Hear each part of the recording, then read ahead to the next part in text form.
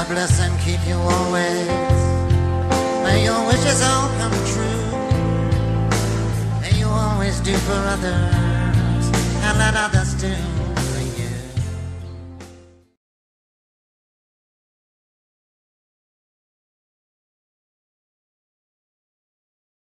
One of my friends said, "Who is that young guy that's talking about rock climbing on your uh, on your Zoom sessions?" I said, "He's not a young guy. He fucker's 80 years old." He said, "No." I said, "He's only 55." And the guy went, "Wow." So I liked your new picture, by the way. Fuck, that was awesome. Yeah, that was a lot of fun. Uh, I I am uh, usually on the working end of the lens, so uh, Yeah. it was an opportunity to get a decent shot of myself. Look, look at those muscles. He looks a little nervous. Look at his facial expression. Holy shit. see. He's like, I can see his facial expression and he looks a little nervous. Not nervous. You're, Glenn, you're projecting. I know. Okay, I got it. Well, what you can see that I've got both hands in in uh, what I will call good handholds, and my feet are mm, okay, but following that to my left, things get very blank. So that's what the look on my face is. Here it comes, and uh, I fell shortly after that. So So if you if you fall from that position and you're hanging right there where the mouse is, how the hell do you get back up there? Shit. Well, if if your belayer keeps your rope rope fairly tight, then you don't fall very far and you can get back on. So you got to climb the rope, which there's a technique to do it. It's kind of strenuous, or you just pack it in and you lower it to the ground. I'll, I'll show you his pictures while we're here. Is this you? Yeah, that's me. Where's that? Oh, is that you too? Yeah. So who are you dating then? God, what beautiful pictures. Oh man, he's a good photographer. took all those with my iPhone. Well, except for that one, my friend took it with my iPhone. last time uh, we talked about like owning your shit and stuff and owning your fuck ups. So I've been dealing with, you know, I I delayed on so much bullshit paperwork and all that, and um, now I'm dealing with like some fuck ups because of some deadlines I missed and all that, and um, and so like I'm kind of beating myself up about it, and I was wondering like, like, I know that that that doesn't solve anything but uh, do you have any like techniques for just like moving on like from the fuck up because it's just like feels like shit And the fuck ups are, what do you mean? At work? You didn't turn work in on time or what? What are you talking about? no no it's like personal stuff like i delayed uh, filing stuff for my tax returns so they have like a penalty and then um, uh, things like that Okay. And you want to know how to, how to let go of that and go on with your life? yeah Well, one of the ways is the three column exercise. That's one way. The other way is to tell somebody who you know, you can even tell us.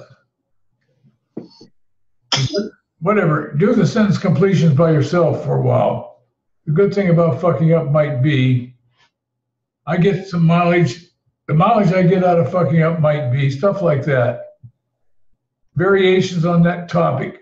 Try to find out what the hell good there is happening. A lot of people, I'm going to give you a little brief lesson. I'm not supposed to prime the pump. the good thing about fucking up sometimes is I don't deserve to be successful. And that's that's a shame because that's very common. And it's been beaten into you by somebody that you don't deserve to be successful. And you have accepted that. I'm just guessing on some level, um, your subconscious is keeping you from being successful by maybe you failed somewhere in the past and you said, I don't ever want to fail again. So one way to not fail is to not do anything. So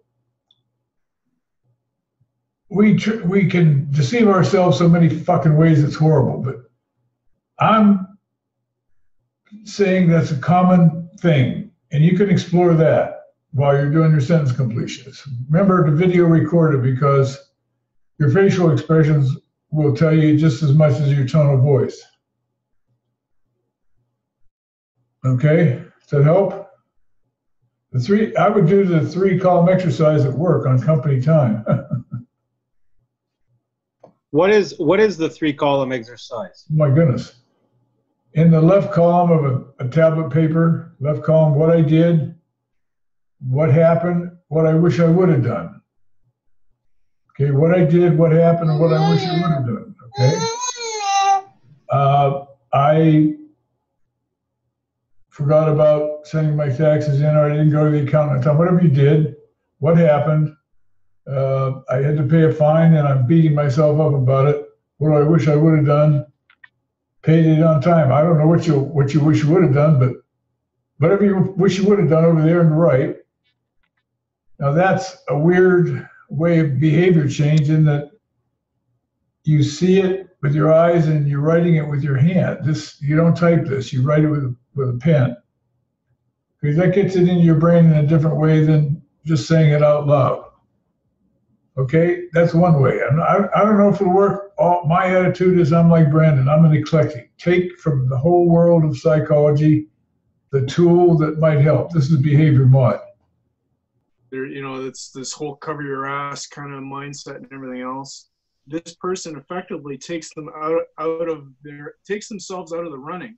People don't even approach them for uh, don't assign them any work because they know they won't get any results. So at this deadwood over there, and uh, and it, what's the killer on that one is my experience has been that those folks usually get good reviews because they never make any mistakes. And, whereas myself, you know, where I was constantly had my uh, you know, sh- shoulder in the yoke, and I was doing all kinds of stuff. Occasionally, I would make a mistake, right? And it was, you know, always at review time. It's what have you done for me lately? And holy shit! But anyway, that's just another version of that same thing. I wrote something about that in Office Politics. Do you remember what I wrote about that? Uh, not specific. It's been a while since- Review, the annual review, what you do in the last quarter. Do you remember what I wrote? No, I do not. But I, Okay.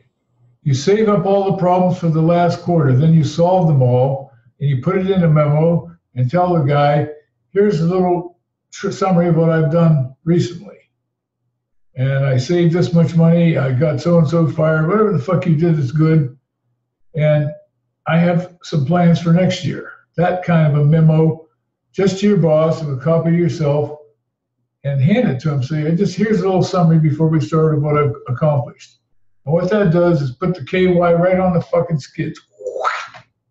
Right? He reads that, and I don't know if you watch boxing, but the way they score the boxing is they award the round one way or the other at the end of the round. So the idea is to put on a big flurry at the end of the round. All right? Save your energy, and then right before the bell, say 20 seconds before the bell, just give this motherfucker everything you got and dance away. And the judge can't help but score you the round in your favor. Same same psychology happens here.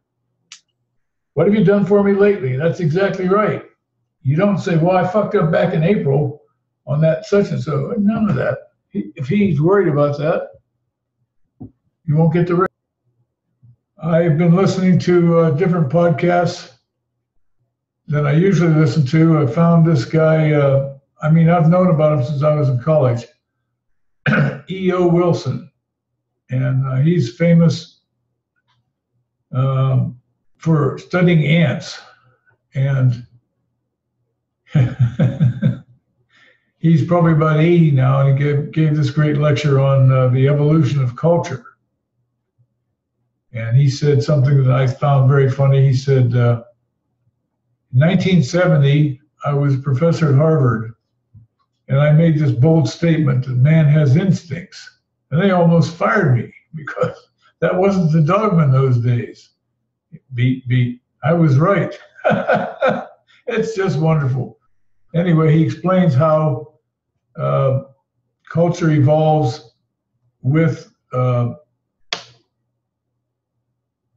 ordinary evolution. We're, we're learning, the tribe's learning, it's becoming part of the collective knowledge of that group you're in and then helps you deal with another group, and so on. And pretty soon you get a city state, and then you get a nation. And at the nation level, everybody can talk to everybody, and ideas get exchanged, and everything gets wonderful. And you learn lots of stuff just for your parents telling you, don't touch this, don't do that, don't eat shit in public, stuff like that. That if you lived in a hunter gatherer group, you wouldn't have this big database to help you. So I never understood that, but now I got it. I'm really enjoying it. The evolution of culture. If you're an egghead like me and you like that shit, look it up. So I know you were uh, deriding these earbud things, the uh, with with Sophie and whatever. I've got a pair of these earbuds that I just got. Well, thank God they're not white. I like the black ones better. They're not so fucking conspicuous. Well, I specifically got black for that reason, but I gotta say these things are friggin' awesome. I know everybody raves about them. They said it sounds like you're listening to headphones. Somehow kills the ambient sound. Don't advertise. I'm a dork.